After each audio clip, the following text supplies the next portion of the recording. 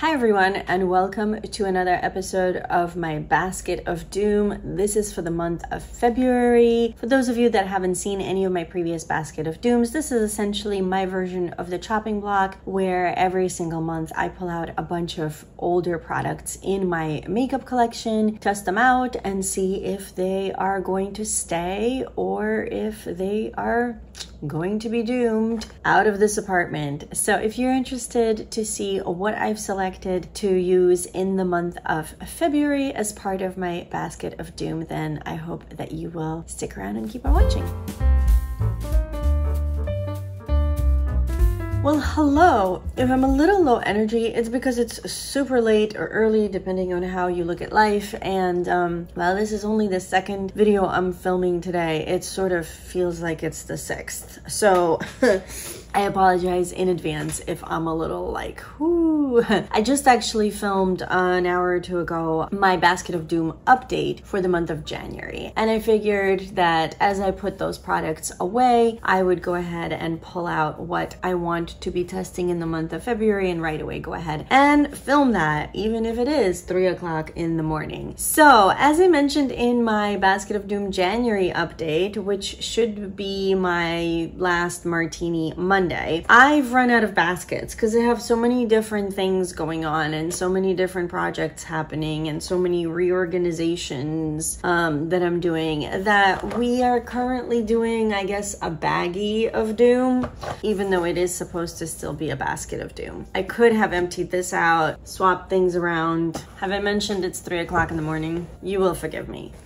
it's a baggie of doom today. Before we jump in, if you are new to my channel, then hi, welcome. And for those of you that are coming back, thank you so much for doing so. But if you've never met me before, hello, my name is Natalia. I'm a concert pianist who loves all things beauty. And in 2023, I am trying to rediscover and in a lot of cases discover for the first time my collection. So it is a year of discovery for me. And if I am bringing anything new into my collection, I would like to do that with as much intention as possible. Really go through what I have, see if it is in fact something that will add to my collection. I'm sure there's going to be a few guilty pleasures along the way, you know, beautiful packaging that I can't resist, or a color that I'm constantly drawn to, or who knows what the brands are going to release this year. But I'm really trying to be on a low buy. So if you are interested in that kind of content, and if you are interested in seeing seeing my journey of going through as many of the products that I already have in my collection as possible, then I hope you will consider subscribing and joining us here in this makeup loving community. I'd love to have you here. Without further ado, let's see what is in my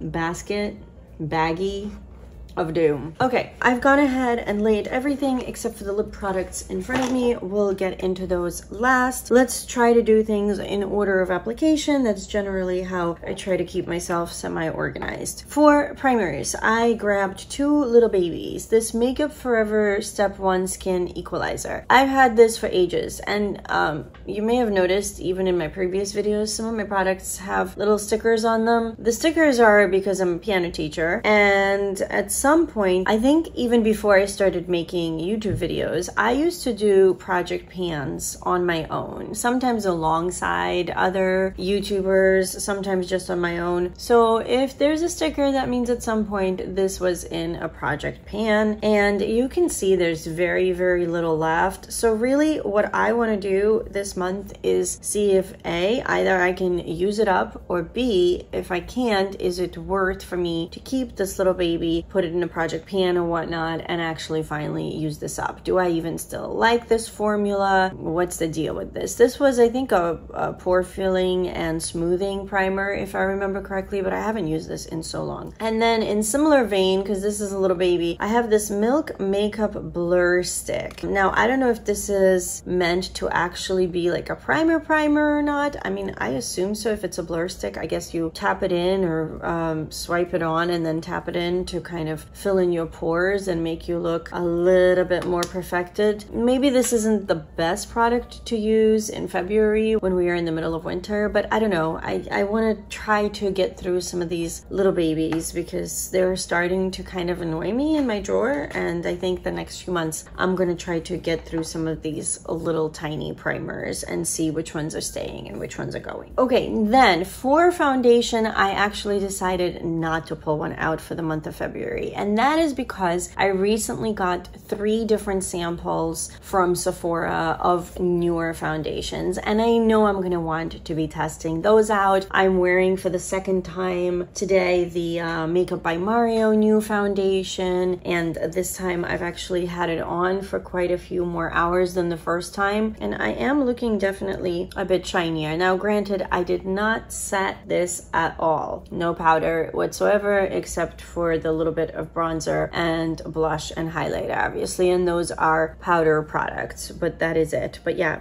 um, while it's not necessarily breaking down on me yet, it's definitely more glowy than what I started with. I don't mind it. I like glowy. I think I put this on about four or five hours ago. So we'll see. You know, I'm probably have another half hour to go and I can update you guys in a future video or uh, down in a pinned comment or something like that. But yeah, because I have the Makeup by Mario, I have the Haus Labs, and then I have uh, YSL, is it New Skin or something like that? I have those three to test out. So I figured that's gonna keep me busy busy enough in the month of February considering I only wear makeup, mm, you know, a couple of times a week or whatnot. So I didn't want to overwhelm myself with yet another foundation. However, I did pull a concealer. This is the Milani Conceal and Perfect, the long wear concealer. And I currently have mine in 110 Nude Ivory. So aside from the fact that I wanted to see if the shade is right, I just wanted to see if I like this formula. I think I was okay with this when I first got it, but it's been a few years and I'm aging and I've noticed a lot lot of my complexion products don't work the way that they used to. I'd really like to go through my older products and see if they still work. So that's the concealer I'm going to be trying out in February. And then for cheek products. For bronzer, I pulled out this little tiny PÜR palette in Sculpt. I'm sure this was a gift with purchase or a clearance item or something, but it has three different shades and I haven't used this in a year or two. I remember, well, from what I remember, I think I liked this matte shade on the side. And then there is a deeper shade that I'm not so sure is gonna work for me, especially right now in the winter. And then there is more of like a, a shimmery, glowy bronzer. I think I mostly used to use this when I did try this in the past. And I think maybe this month what I'll do is I'll try to use the outer two shades and see how that goes. Because I doubt I'm going to be able to use the middle shade. If the other two I'm not happy with, there's really no reason for me to keep this at all. However, if the other two are really good, then I'll have to figure out if it's worth me keeping the one out of three or two out of three shades. And then the other bronzer, one of the oldest ones I have is this Physicians Formula uh, Beauty Balm. This is the Bronze Booster, the Glow Boosting Beauty Balm BB Bronzer. It used to have SPF 20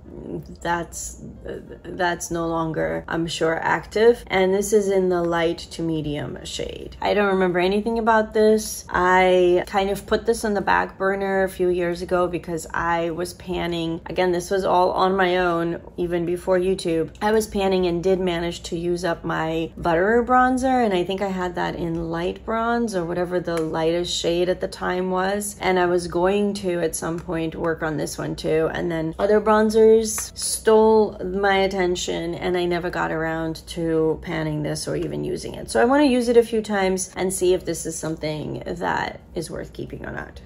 For blush, I really struggle. Oh, uh, let's go back. I forgot a powder. I wanted to try this Laura Geller uh, Baked Balance and Glow Illuminating Foundation in Porcelain. So this is a foundation, but I'm probably going to be using this as a powder. And because it's illuminating, I figured, well, winter time might be actually a good time for me to try what does that even mean. I feel like I've swatched this quite a few times and maybe used it once or twice back in the day when I picked this up on on my actual face, but I don't remember much about it. So we're gonna try that out and use it, I'm gathering mostly as a powder. Uh, for blush, I really struggled. I wasn't sure what to do for blush this month, to be honest. So what I decided to do actually was pick out a few blushes that I used to really enjoy in the winter. In fact, I think in 2020, I did a video on like my favorite winter blushes, and I believe these three were all in that video. And I haven't really worn these blushes in quite a long time. Two out of three of these are pretty deep, and I have to use a very, very light hand, and they're the sort of colors that I really only use in the cooler weather. So I figured this, it's kind of now or never as far as the testing this year goes. February, March is really the last time I'm going to be interested in these colors. So I have Becca's Dahlia, which is this beautiful like berry plum shade. And this one is their uh, luminous blush formula. And I don't know if you can see in the camera, but it definitely has a bit of a glow. Here, I can even swatch that for you guys.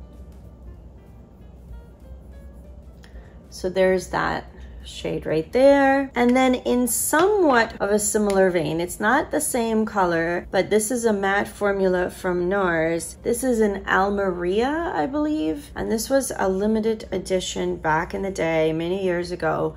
And you can see the difference, of course, between those two, but it's also another one of these deeper shades. And I could build it up, but I, don't think I need to. I think you guys get an idea of what that looks like. Those two I'd like to try this month and see if I still like them and if I'd like to keep them or not. And then I have a MAC blush in Coygirl. So this one looks like so. Let me build this one up. So this one's definitely the most matte of the three, the most dry of the three as far as the swatch is concerned. Now, how these will wear on the cheeks, I will find out. Yeah, and my gosh, I guess my skin must be so dry because that swatch does not look very good at all. It just looks like there's powder kind of sitting on my skin. But in any case, you guys get the idea of the colors and that's why I'm trying these out to see if these are even any good or if they are so old that it doesn't make sense for me to keep them anymore. So those are the three blushes. For highlighter, I decided actually to do a palette and I've noticed that highlighter is like coming back a little bit I know last year a lot of people stayed off highlighter altogether. And I don't know if like the iridescent duochrome highlighters are gonna come back or not, but I have a few of those and I rarely use them. So I wanna see again, I figured like winter would probably be the most fun time to use these, but I have um, another Laura Geller product. Oh, this must be so reflective. I'm so sorry guys, but the packaging is cool because the packaging kind of matches the idea of the product inside. So this is the Life Glow Glows On Illuminator palette and it has three of their swirl highlighters, their gelato swirls that they used to be really known for. And these are in Opal Crush, French Fizz, and Diamond Dust. Let me actually go wash off these blushes and let's swatch these together. Okay, let's swatch this Laura Geller palette. Opal Crush, French Fizz, Diamond Dust, Opal Crush, I can't see what I'm doing. French Fizz. Diamond Dust. Okay, let me build these up just a little bit because I don't know how well they're going to show through on like a phone camera, but you guys got to at least see the swatch, live swatch. So I don't know, again, I don't know how much you will be able to see. I can't really see anything. All I'm looking at is like the little tiny reflection in my phone, but I can see how this one seems to be shifting like a lavender pink. This is like a gold, yellow gold. I think that one has the least shift, if any. And then this one, like a pink to gold, and maybe even a little bit of a peach flip in there. I feel like diamond dust is the most common flip that you see in highlighters and eyeshadows, honestly. I feel like I've seen eyeshadows that flip very similarly. So I wanted to, to give this a try and I figured winter with the icy weather and all um, could be a fun time to pull these out. So those are gonna be my highlighters. And then for eyes, I want to try the Milk Hydro Grip Eye Primer. I've tried it a few times and I can't remember honestly what I thought about it. I don't think I was wowed by it, but I don't remember like on, in what circumstances they it worked and in what circumstances it did not. I pulled two eyeliners out. This is the Lorac front of the line black eye pencil. So it's just that, it's just a black pencil. And then this came in a subscription, who knows when. It's the Luna by Luna uh, pencil in Asteroid. It's Luna by Luna Cosmetics. And it's like this baby pink. So I thought together with those icy highlighters and whatnot, maybe in one or two of the looks, I could somehow incorporate that, see if it's an eyeliner that I would ever use. Um, I also decided to pull out two of these liquid eyeshadows. This Cover FX Shimmer Veil in Amethyst. I think this one came in a subscription box. And if some of these are on the drier side, I will try to revive them. I don't even know where to put that. Maybe right here. Oh, that's still seems like it does not need any reviving whatsoever. That actually looks quite pretty. So I would like I would like to get into cream and liquid eyeshadows more this year. So I figured I'll start with the oldest ones just to see if those need to stay or not and gradually work my way up to all of my like Sydney Grace ones, for example, that you guys saw in my basket of shame. And then this is by Kosas. Um, I think this came in like a kit a Sephora favorites kit or something. This is in the shade Heat, I think, or maybe Second Eve. I'm, I'm not so sure. There's there's a lot of small writing that I can barely see. And I've heard that Kosas products go bad pretty quickly. So I figured I'd give this a try and see if it's still any good and something that I would use because I've never, I'm not sure if I've really tried anything else by Kosas. There's those. And aside from the lip products, the only things left are the eyeshadow palettes. So I guess let's do the eyeshadow palettes, then I'll wash this off and we can talk about the lip products. I know I mentioned that my rule is I'm gonna go with three older palettes a month. I couldn't narrow things down for the life of me this month. Even though it's a shorter month, I actually decided to pull in four. And I figured if I don't get to try one or two of these, they'll roll into March. But because these all seemed more wintry color stories, I really wanted to try to use them all in February and we'll see. The first palette I'm gonna do my best to try is the Wet n Wild Color Icon and this is the one in Lights Off. This is the cooler tone one that they came out with, I wanna say two years ago. Is this when, I think 2021 is when all of these Color Icon 10 pan palettes came out. I've tried um, all of them. I was gonna do a whole video on these and then then I left YouTube before I got a chance to do that. But I remember I even posted some looks on my Instagram, I think, with a bunch of these palettes. If I remember correctly, I did like a really smoky gray look with this one. So I'd like to try this one again and see if it's something that I will continue using or not. Who remembers this? Oh, it's very shiny, but who remembers Milani Soft and Sultry? This was such a good palette and I haven't used it in so, so long and I wanted to pull it out and see if it is something I'm going to continue using or not. Then I have this NARS palette, which I bought, let's be honest, oops, sorry, upside down. I bought this, let's be honest, for the packaging. I think this packaging is absolutely glorious. This is the Provocateur palette. And the reason I had it upside down is because the label on the back is upside down. Like, like if I'm showing the palette to you guys like this, I can't actually read what's on the back unless I know how to read upside down. This palette looks like so.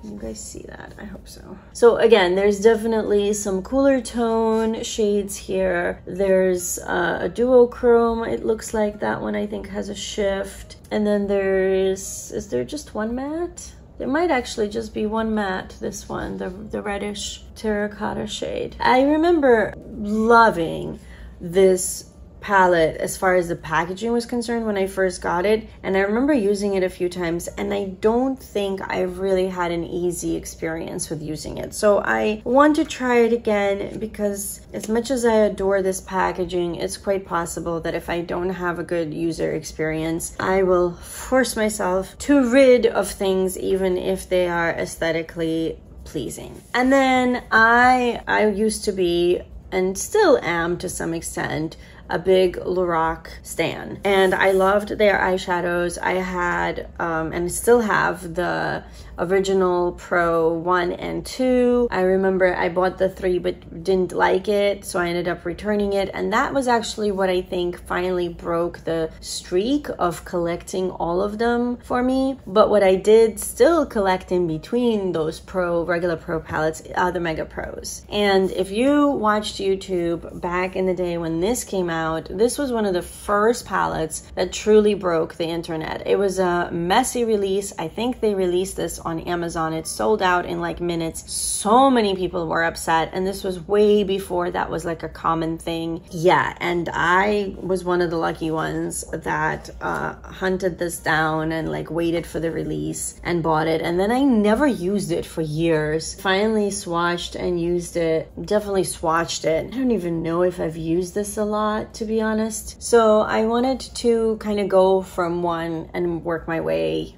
up. I think I have all four of these. I think they released four Mega Pros back in the day before they completely repackaged to whatever it is they're doing now. I have all four of them and I need to see if these are palettes I'm actually going to be still reaching for. From the little bit that I have used recently of all of my pros and mega pros, the consensus that I am having so far, and we'll see if it changes, is that I still really love love the mattes, but that the shimmers, now that I've been exposed to so many other formulas, are definitely lackluster for me. They're definitely more of like a sheen. They're not a metallic, high shine sort of formula. Um, so yeah, I want to play around with some of these and see if this is something I'm actually going to keep.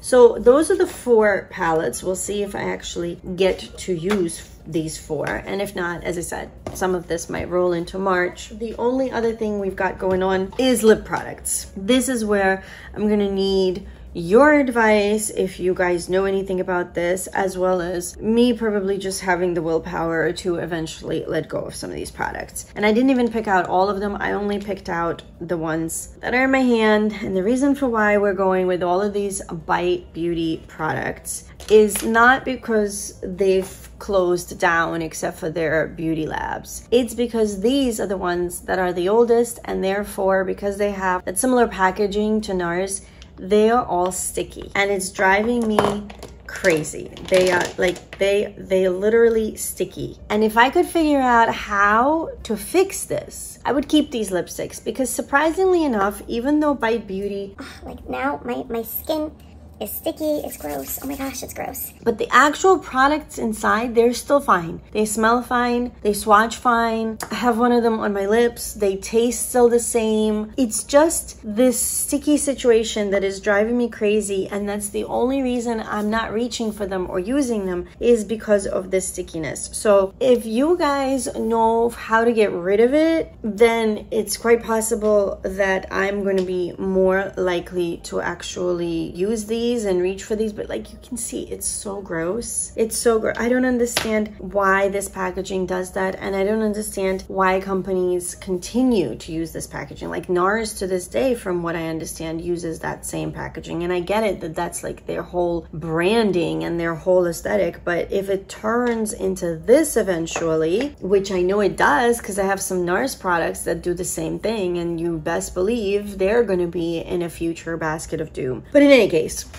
rant over let's go through the shades. So at some point Bite Beauty had this matte cream lipstick collection and they all came out with these more like plummy shades. I can't remember how many they were. I want to say like six and i think i bought three or four of them. So i have the shade plum juniper and barberry i love these. I love the formula. I love the colors. I just absolutely hate the sticky packaging. Where am i gonna swatch? I guess i'm just gonna swatch here on my arm and then show it to you because I don't see how else I'm gonna do it. So here is, this is Barberry, Juniper, and Plum. So Barberry, Juniper, and Plum, those are the three stickiest. But I love these lipsticks. I used to really, really enjoy wearing them. What do I have on my lips? I have this, what did they used to call these? They came in these adorable little holiday sets. These were the high pigment pencils. This is the shade Sable. So that's what I have on right now. I don't know if you guys can see, hopefully. I also have Rhubarb. I remember this was a really popular shade. It's a bit deeper. So there's Rhubarb.